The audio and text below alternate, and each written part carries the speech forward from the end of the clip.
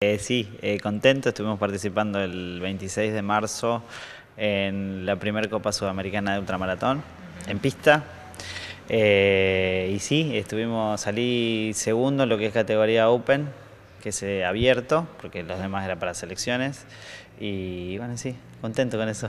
Bien, bueno, ¿cuánto tiempo de preparación te llevó para poder hacer esta carrera? Mira, mayormente esta competencia necesitaría unos cuatro meses y medio, lo cual yo estaba preparando una distancia más corta y surgió esto y la preparé en 40 días.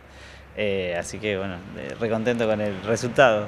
Bien, bueno, pero toda una vida fuiste, que sos deportista, o sea, no es algo nuevo en, vos. Mira, para mi familia sí. Yo arranqué a correr a los 27 años eh, para bajar de peso, como cualquiera. Y me fui enganchando hasta que le dije a mi viejo en ese momento que me preparara para, para competir. Empecé a correr bien en, a 7, 8 meses. Después estuve 3 años sin correr eh, por una lesión en la cadera. Y arranqué a correr eh, en el 2021 Sí, casi 2022, de noviembre fue. Hace un año y, unos meses. Y me volqué a la, a la ultra distancia. Bien, bueno, y ahora podio. Y nadie te para hasta no tener el primer puesto. No, no, no, hasta no estar, yo ya dije, hasta no estar en el seleccionado argentino de, 100, eh, de 100 kilómetros, no, no, no, vamos, vamos, vamos por eso. Bien. ¿Cuántas horas por día entrenas? Y depende de la preparación, he pasado 4 o 5 horas corriendo sin parar, 3 y así. Muy exigido. Sí, eh, esta, esta disciplina, porque es una disciplina diferente a lo que es el atletismo, sí, es, es dura, es dura las preparaciones. Yo el año pasado debuté en Bolívar en 100 kilómetros y bueno, sí, eso es lo que me llevaba a la preparación. Bien, bueno, y aparte teniendo en cuenta eh, tu historia de vida, tu condición, por llamarlo de esta manera, debe tener un doble entrenamiento, debe tener todo reforzado, tal vez entiendo yo, vos me los dirás mejor, pero contame un poco cómo, cómo te toca, cómo lo viviste y, cómo lo vivís sobre todo.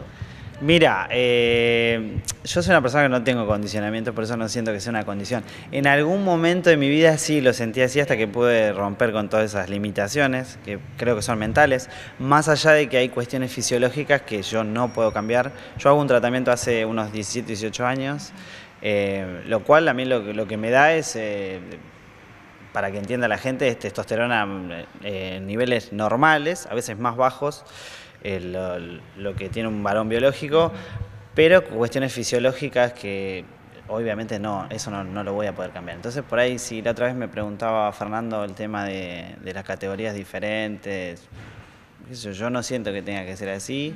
Quizás en mi caso podría decir estoy en una inferioridad de condiciones que yo nunca lo sentí a la hora de largar una carrera. Yo me mido con, quien esté al lado. Y después, bueno, por, ese lado puede ser un poquito más difícil, sí.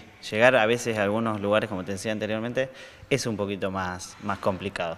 Pero es lo que te decía, si uno se propone, trabaja con esfuerzo, las cosas a la larga o a la corta siempre llegan. Bueno, ¿y ahora cómo te estás sintiendo vos?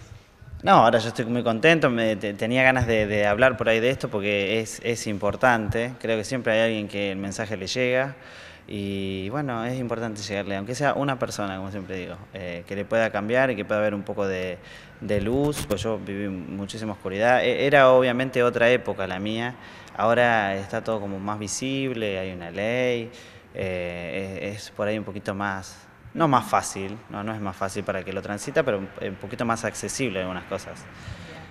¿Cuál sería el mensaje que podrías dar vos a través de tu experiencia, de tu, de, tu forma de vivir, eh, a esa persona que está en ese momento que pasaste vos, que está tratando de decidir a ver si lo habla o no lo habla, si se decide hacer tal cosa por el que dirán?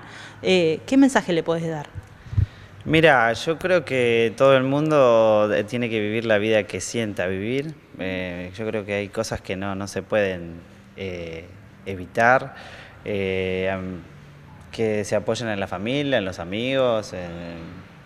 eso es importante tener el acompañamiento. es una etapa muy difícil, la transición es muy difícil. los tratamientos también, el adecuarte a, una personalidad, no una personalidad nueva, pero a mí, por ejemplo, me pasó de que eh, el, cambio del nombre, todo eso es muy difícil por ahí para uno y para, y para, y para el, que te acompaña.